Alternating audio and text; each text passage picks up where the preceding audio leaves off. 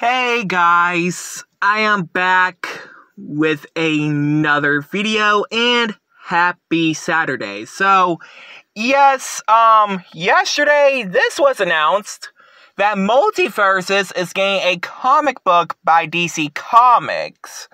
I mean, yeah, technically the game's roster includes DC characters like Batman, Superman, Wonder Woman, Harley Quinn, the Joker. But yes, we're getting other characters in the comic books too that's not owned by DC. Well, except for like a few they did that DC crossover with, like Scooby Doo.